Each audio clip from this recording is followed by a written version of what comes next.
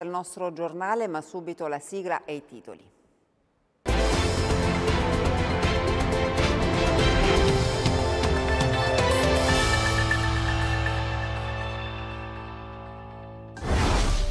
La Pasqua della suora Cosentina in una Betlemme deserta. C'è un clima surreale. La religiosa racconta che nonostante tutto però c'è tanta speranza. Le vacanze di Pasqua, prove generali per l'estate, fanno registrare un incoraggiante trend di crescita. I turisti puntano ad un'offerta di qualità. Tradizionale appuntamento a Catanzaro per la processione della Naca. Centinaia di fedeli hanno percorso le strade della città tra canti e preghiere. Colpo di scena a Montaltofugo, il candidato scelto dal PD e dall'amministrazione uscente Luigi Formoso fa un passo indietro. Non ci sono le condizioni. Il tecnico del Cosenza presenta la gara di lunedì con il Brescia. Mi aspetto una squadra vogliosa e determinata. Il Catanzaro parla con la serenità della classifica. Ancora buon pomeriggio dalla redazione del TG10. Dunque da Cerchiara di Calabria a Betlemme è la scelta di Suor Vittoria Valentino che dalla cittadina della Cisgiordania racconta come vive la Pasqua e che sentimenti si respirano tra strade con pochi pellegrini e gli echi della guerra in Terra Santa. Un incrocio di dolore, di attesa e di forte speranza è la Pasqua di Suor Vittoria Valentino, calabrese che da qualche anno vive a Betlemme. Sentimenti che formano un unico corpo e un'unica anima con le persone del posto, strette nella povertà e nella sofferenza incalzanti. Nella città della Cisgiordania, a quasi 10 km da Gerusalemme, le strade sono deserte. Le saracinesche dei negozi e dei bar per lo più abbassate. Negli alberghi aleggiano soltanto i ricordi dei tempi passati, ma le chiese sono gremite in questo periodo. Sì, perché la fede è il motore a queste latitudini per comprendere quel che sta accadendo da sei mesi a questa parte in Terra Santa, così come la scintilla per credere nella pace nonostante gli echi vicini della guerra. Betlemme eh, che risente tutte le ripercussioni, tutte le conseguenze di questa guerra, ovviamente ancora non si vedono pellegrini, solo qualche qualche gruppo sporadico eh, di tanto in tanto, ma non vengono a Betlemme solo per visitare e andare via, perché eh, penso che tutti vivono una certa insicurezza anche in questi territori. E, quindi si legge, nonostante veramente eh, durante le celebrazioni la chiesa di Santa Caterina, le chiese sono gremite, la gente prega, ma nei loro volti nei loro sguardi si nota tanta sofferenza e tanta tristezza. Il pensiero alla famiglia che vive a Cerchiara c'è sempre, ma la Pasqua a Betlemme per sua vittoria in queste condizioni di carestia, di attesa e di resilienza è un dono. La mia Pasqua è la Pasqua della gente con cui vivo, cioè perché è impossibile non sentire con loro tristezza e angoscia eh, da un lato e speranza dall'altro lato. Sono contenta dico, eh, eh, di vivere e di condividere questa esperienza, perché qui si vive la Pasqua, eh, come dicevo prima, una Pasqua esistenziale. E le vacanze di Pasqua sono una prova generale per l'estate, ebbene fanno registrare un incoraggiante trend di crescita, i, puristi, i turisti puntano ad un'offerta di qualità.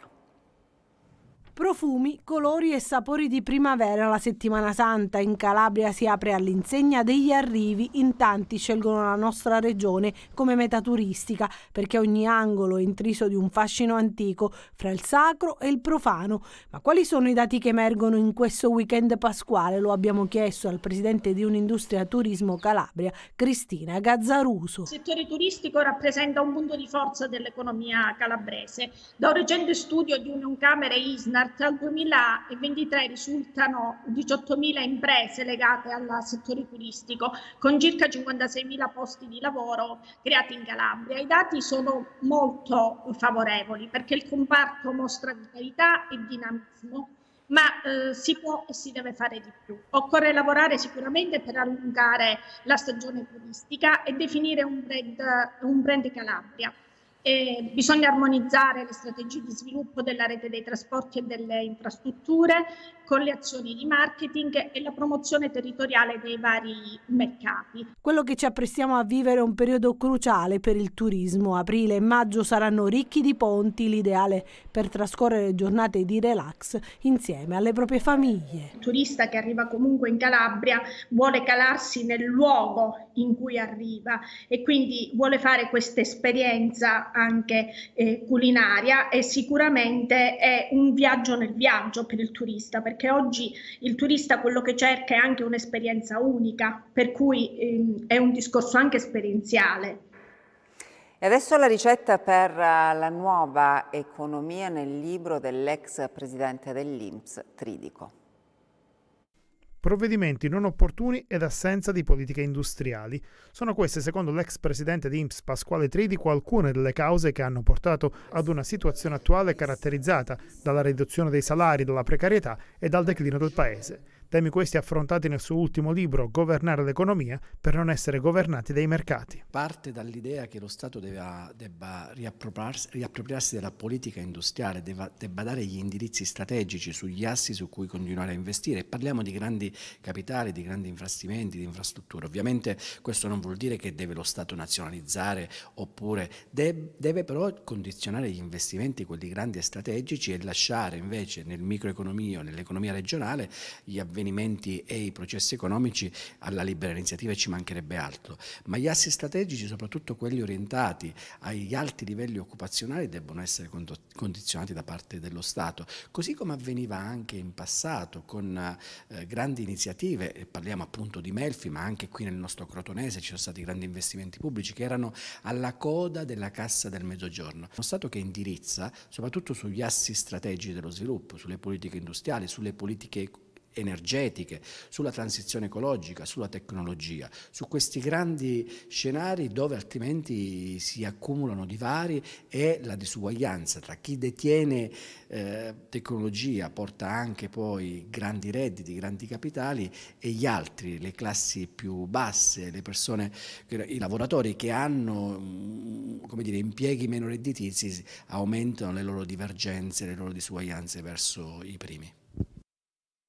Adesso le amministrative di Montalto Fugo c'è un colpo di scena perché il medico oculista Formoso ha ritirato la sua candidatura. Al momento in corsa per la carica di primo cittadino rimangono quattro candidati, ma lo scenario potrebbe ancora cambiare passo indietro del medico oculista Luigi Formoso che ha deciso di ritirare la sua candidatura a sindaco di Montalto Fugo, indicato dal PD e dalla coalizione uscente che fa capo al sindaco Caracciolo, Formoso ha comunicato ai gruppi componenti l'aggregazione Patto Civico Governo e Futuro la propria rinuncia a competere per la carica di primo cittadino. Una serie di circostanze, scrive Formoso, mi hanno portato a maturare questa sofferta decisione che tuttavia non corrisponde ad una minore volontà di prodigarmi amorevolmente per questo territorio territorio. Ringrazio, continua, chi mi ha manifestato stima e affetto in questi giorni e soprattutto chi ha sostenuto fin dal principio la mia candidatura. Al momento dunque a Montaltofugo rimangono quattro i candidati a sindaco, Mauro Dacri, Biagio Faragalli, Emilio Viafora e Antonio Brogno, ma lo scenario è ancora tutto da definire e la coalizione uscente adesso dovrà individuare il suo candidato e secondo i rumors l'operazione si prospetta tutt'altro che semplice. E adesso i riti della settimana santa, tradizionale appuntamento a Catanzaro per la processione della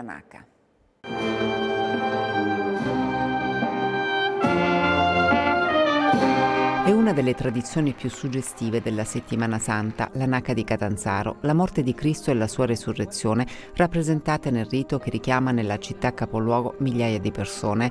La statua di Gesù è adagiata nella Naca, che ha la tipica forma di una culla allungata, ornata di tessuti e attorniata di fiori. Agli estremi della culla ci sono più angeli in cartapesta che tengono in mano i simboli della passione. L'uscita del simulacro dalla chiesa del Rosario, la Naca, è stata portata a spalla dai vigili del fuoco La processione, guidata dall'arcivescovo di Catanzaro Squillaggio e Monsignor Claudio Maniago, si è snodata tra le antiche strade della città, dando vita ad uno spettacolo di fede e spiritualità. Colori e musica sacra hanno accompagnato il corteo. Durante il tragitto, le croci penitenziali portate a spalla dai fedeli. Nel corteo segue la statua della Madonna Dolorata vestita con abito nero e circondata da sette spade, simbolo dei sette dolori della Vergine Maria. Anche quest'anno massiccia la partecipazione dei cittadini di Catanzaro e dei visitatori provenienti da altre città. Si rinnova così il profondo legame che lega la comunità alla sua tradizione religiosa e culturale. La NACA infatti rappresenta una tradizione secolare che lega la comunità di Catanzaro e altri centri calabresi. E Monsignor Rega, vescovo di San Marco Scalea, esalta il significato della Pasqua nel cuore dei cristiani.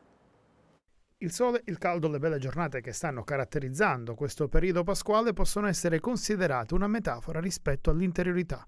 Una Pasqua ricca di una luce che può illuminare la vita di donne e uomini è quella che augura il vescovo della diocesi San Marco Argentano Scalea, Monsignor Stefano Rega. Beh, Pasqua è passaggio, passaggio proprio da ciò che è buio, da ciò che è triste, da ciò che è fatica, a ciò che è vita, a ciò che è luce, a ciò che è resurrezione.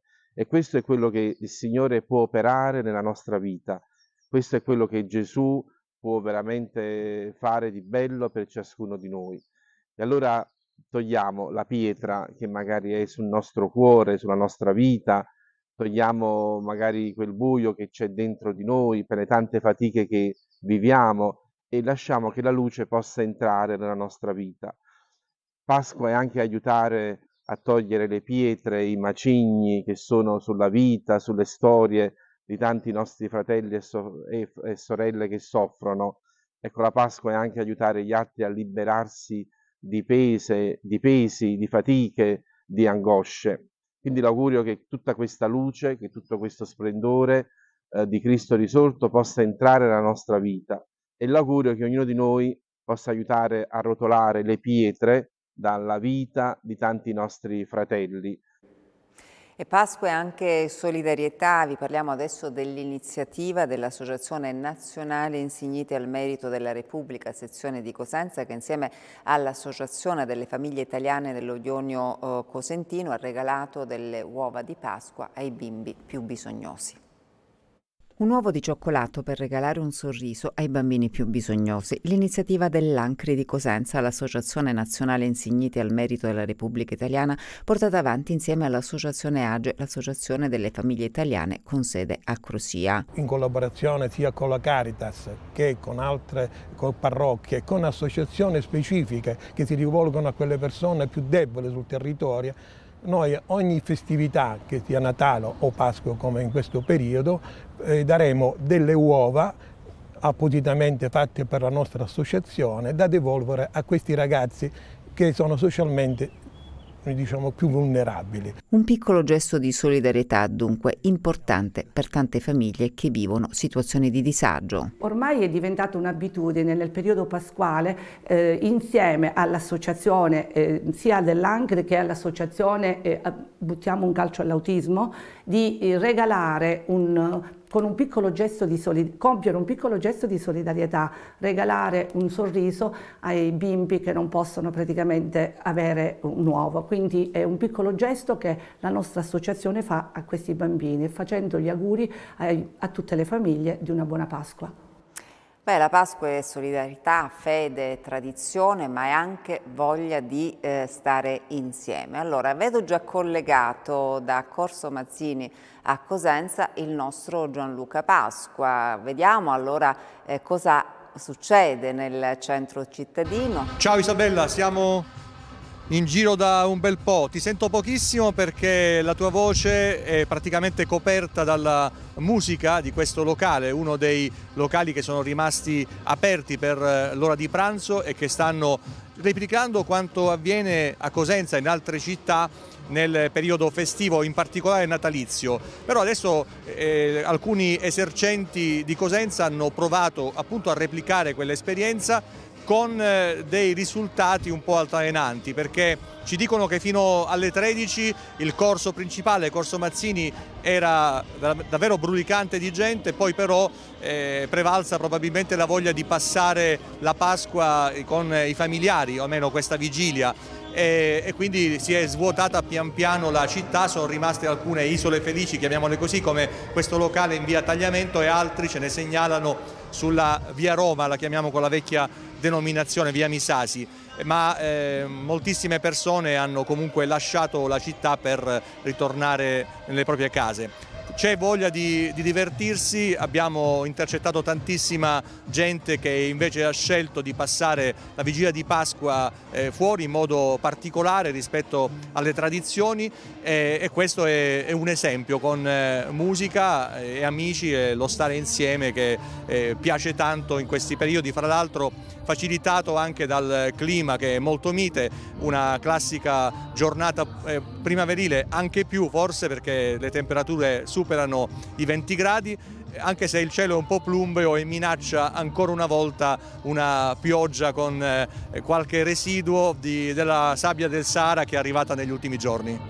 Diciamo una mattinata no? all'insegna dell'allegria, dei locali, dello stare insieme, poi il pomeriggio si va a casa, no? ci si prepara per, per la domenica, così Gianluca?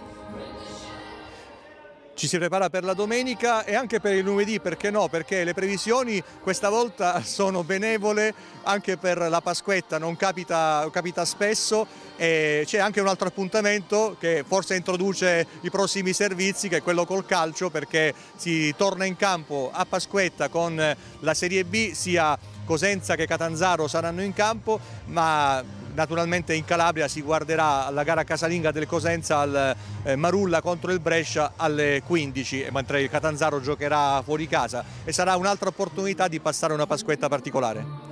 Grazie Gianluca, buon lavoro, beh anticipato no? la pagina sportiva perché eh, proprio questa mattina il tecnico del Cosenza ha presentato la gara di lunedì con il Brescia, ha detto Viali mi aspetto una squadra vogliosa e determinata, mentre il Catanzaro parla con eh, la serenità che deriva dalla posizione in classifica.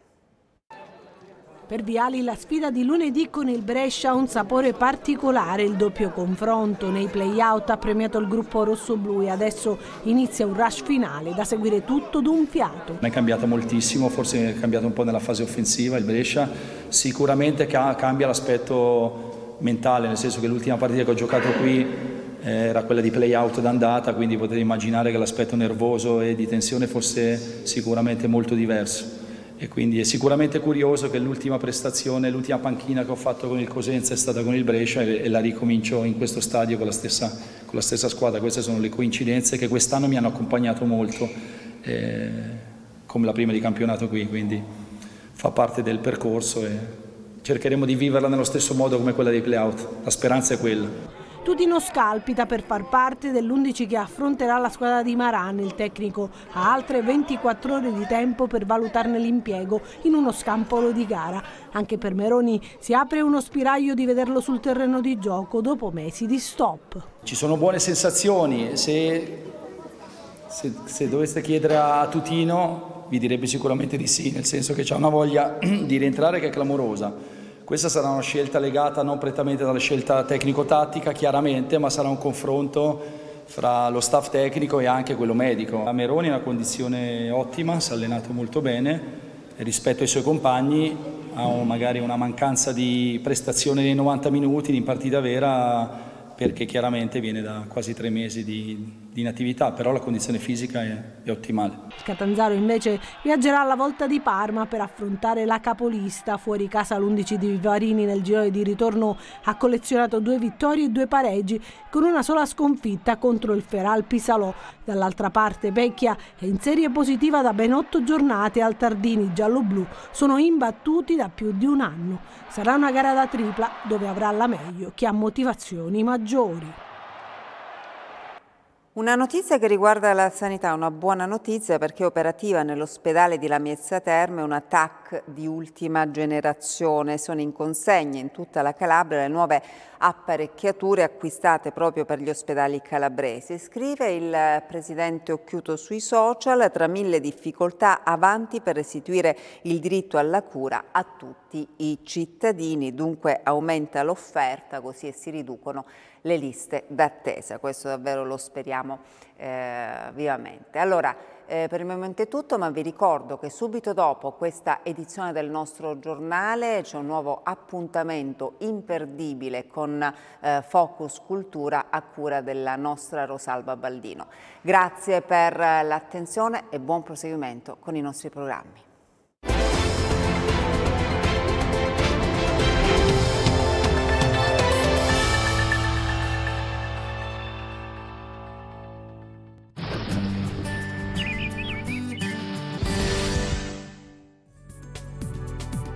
Previsioni per oggi. Nel pomeriggio sulle coste bel tempo con cieli sereni. In montagna bel tempo con cieli sereni. In serata sulle coste bel tempo con cieli sereni o velati. In montagna bel tempo con cieli sereni.